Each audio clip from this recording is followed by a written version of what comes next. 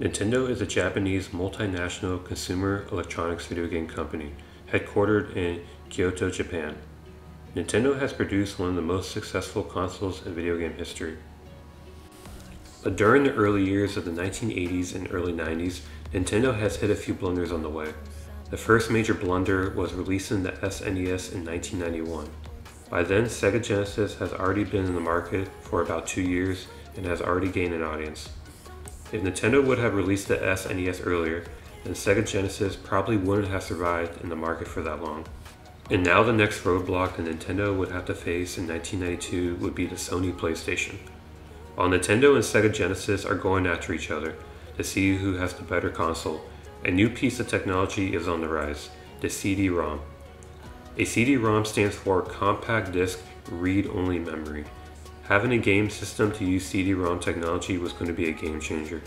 CD-ROMs were cheaper to make than an SNES cartridge stores 300 times more information than a cartridge, thus allowing much more sophisticated graphics.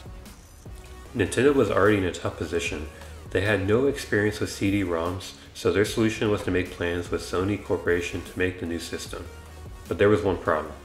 Sony has already announced plans to introduce its own game system, the PlayStation.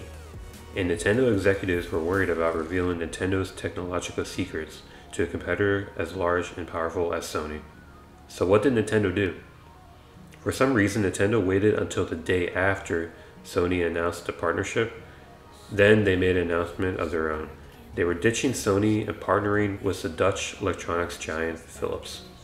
Even though Nintendo lost a little bit of ground to the Sega Genesis in the US market, Nintendo was still the world leader in video game sales in the early 1990s.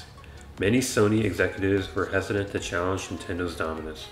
There was a group talks and discussions about not releasing the PlayStation at all, in fear of getting wiped out by Nintendo, thus hurting Sony's company name in the process. At the time, the CEO of Sony, Norio Ohga, didn't want to be humiliated by Nintendo. He was persistent in having the company continue working on the PlayStation until it was perfect.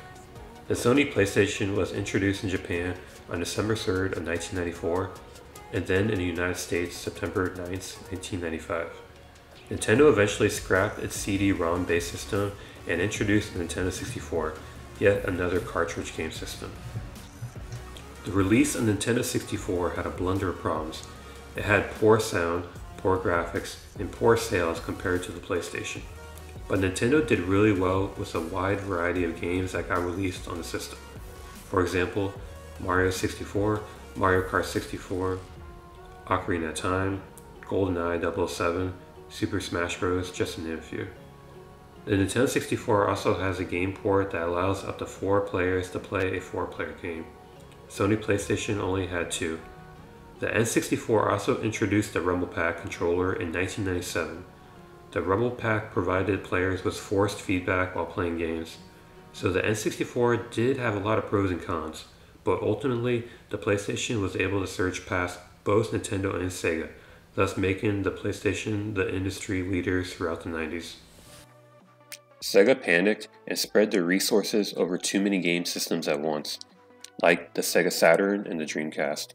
But Sega was still in third place, and in January of 2001, Sega decided to get out of the hardware business altogether and only focus on game software. To this day, that decision Nintendo made in 1992 to stick with cartridges continues to haunt them to this very day.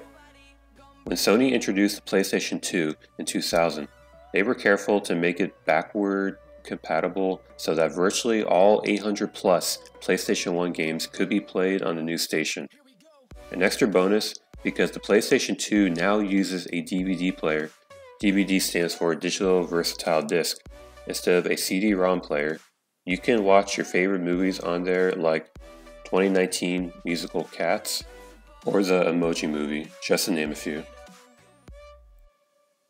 A year later, Nintendo introduced the GameCube. For that console, it introduces a mini DVD-ROM system that does not play movies and isn't compatible with N64 game cartridges. The N64 owners were a little mad and disappointed that their old games couldn't be played on the GameCube. What do you guys think? Should Nintendo make plans with Sony sooner, Or do you think that Nintendo should have taken more time to develop a console that supported CD-ROMs?